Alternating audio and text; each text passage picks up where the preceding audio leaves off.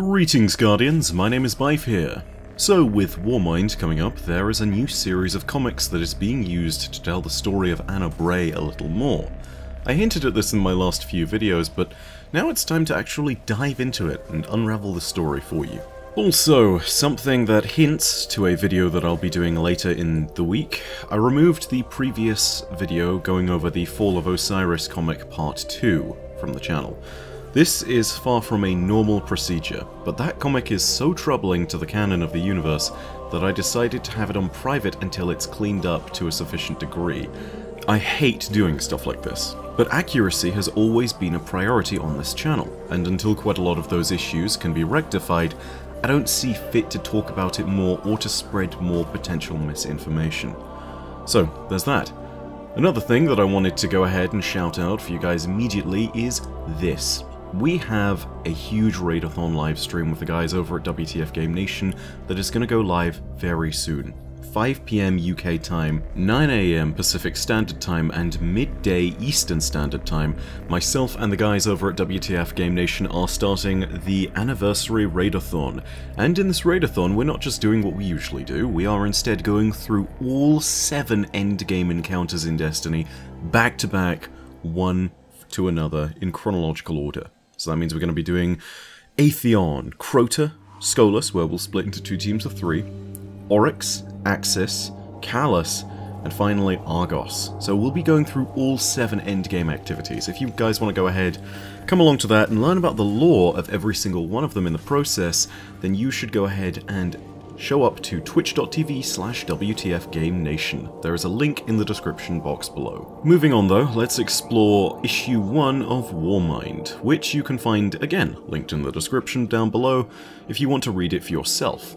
The inside cover page is where we're going to start, and it actually contains a rather mysterious message which is very clearly from Rasputin. In this, it names Ana Bray as the Investigator. There's a lot of jargon in here, but the text reads as follows. AICOM Rasputin, Assets Polaris Imperative. Immediate Evaluation Directive. The investigator suspects existence of Polaris assets. Non-disclosure mandate may comprise Prime Directive. Consider promoting investigator to authorized user. From a frozen space before sunrise. I was alone. I am alone. I survived alone. I am made to win, and to win, I had to change. They gave me an old name and called me Tyrant, but what they made me was not enough to save them. I had to change. I had to change, but now I am not alone. The investigator, long dead, alive again, her body grafted to powers she and I do not understand, fell into ash and was ash when I fought the Titanomach. The investigator remained ash when the world was dim, and then the gardener brought her back.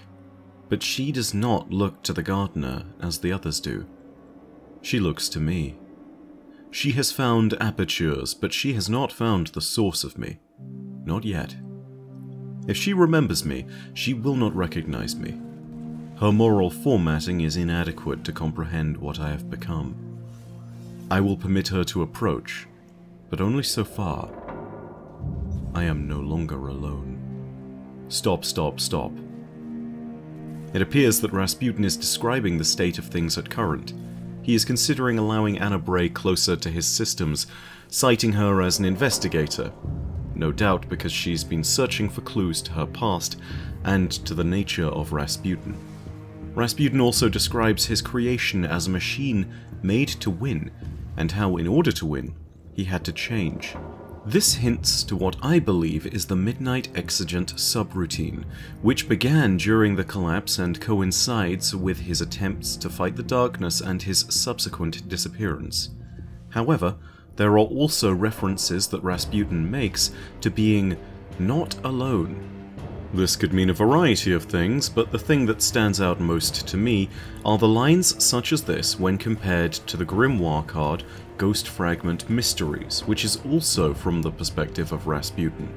From this, we can see the earlier mention of the Titanomach, which was Rasputin in fact naming the darkness, and that Rasputin has earlier stated, I am alone, instead of, I am no longer alone. It makes me wonder if this means he's been roused and has overridden the dormant systems of subminds, or potentially, if this is indeed still a part of the lore, other Warminds. You'll hear more about that from me later down the line. This may have been his attempt to become more powerful, thus becoming something more, thus becoming no longer alone. The alternative to this is simply that Rasputin accepts the fact that he has to change and to ally with somebody because at current he has basically been discovered.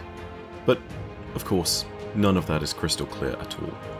It's also clear here that Ana has been searching for Rasputin from this line alone, but that's no new information. Thus far, it appears, however, she has not found the main hub of Rasputin himself. The fact that this is located supposedly on Mars again is potentially troubling, but then again I suppose it's wrong to think of a Warmind as having a single physical location in general.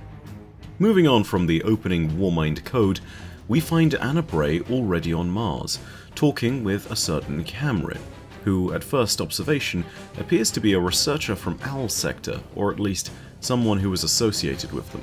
The pair of them have narrowed down Rasputin's location to a patch of ice in the Hellas Basin that covers roughly 200 square kilometers. The two of them are looking more specifically for what they call Clovis Bray's cradle of invention. What this might be is anyone's guess. In that moment where Camrin declares the cradle of invention must exist, Camrin gives a small speech that hints to a more involved relationship between herself and Ana.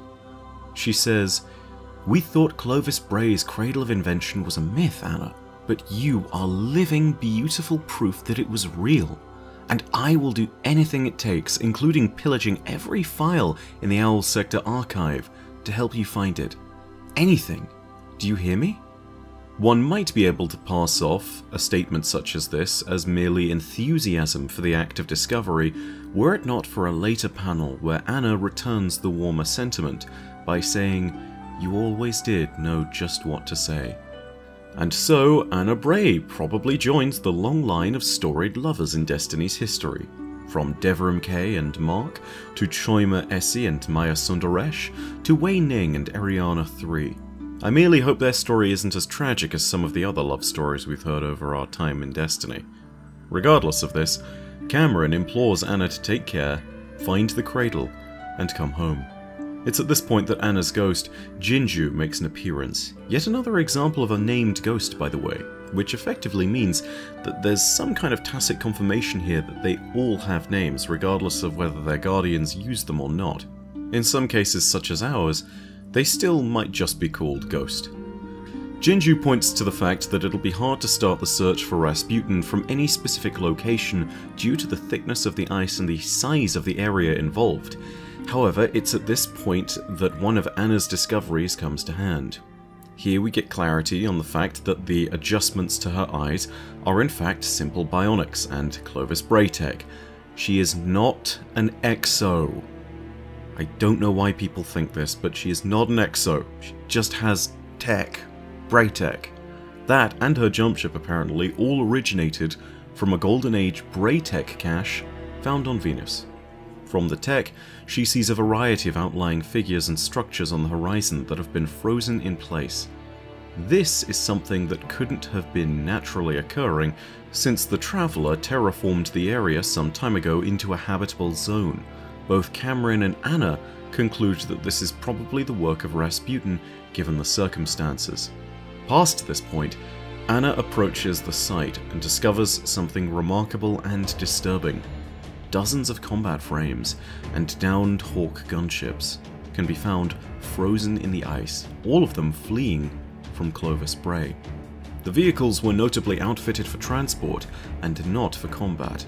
Before the pair can uncover more about the nature of those fleeing the scene, a disturbance raises Ana, and she draws her weapon. The disturbance was in fact the Red Legion, a small mining crew that had been looking to claim what lay beneath the ice sheets of Mars's polar caps. It's at this point that we can roughly make out what the Cabal say in the comic. This was something that surprised me greatly, but this was found by a Devious entity whose Twitter is going to be linked in the description below. Devious is an out-of-bounds explorer and the first person in the entire world to get out of the bounds of a map in Destiny 2's beta. I know this because I've worked with him back in the Destiny 2 beta to access the Well of Flame. He discovered that if you flip the text upside down, mirror it, and read it from right to left, you can make out sort of a broken English to it. And from this, we can tell that the Centurion here is saying, push you dogs, put your backs into it.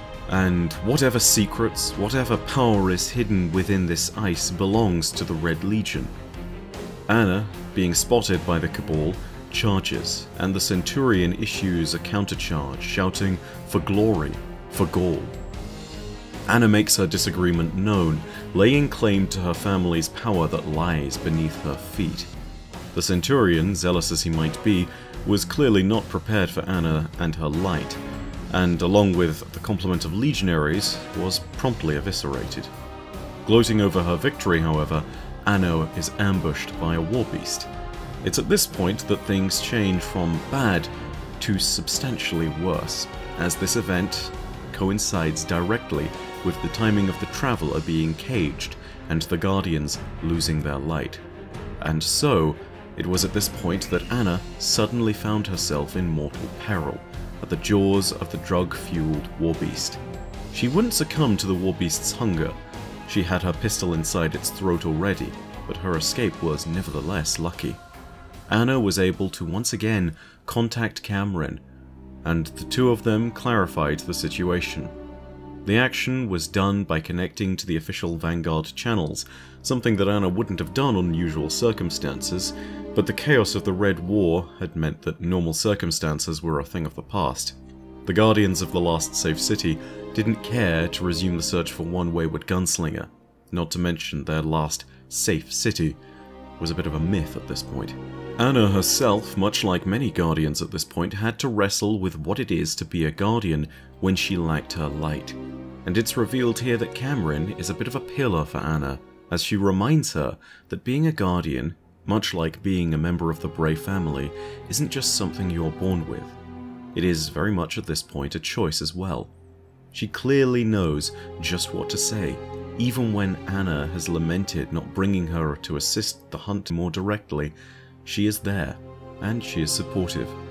It's at this point, I should say, that I'd be surprised if I didn't hear more about Camrin in the Warmind expansion itself.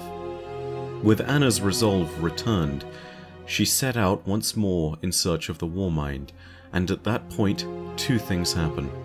First of all, the pair receives a clue in the form of a collection of warsats falling from the sky.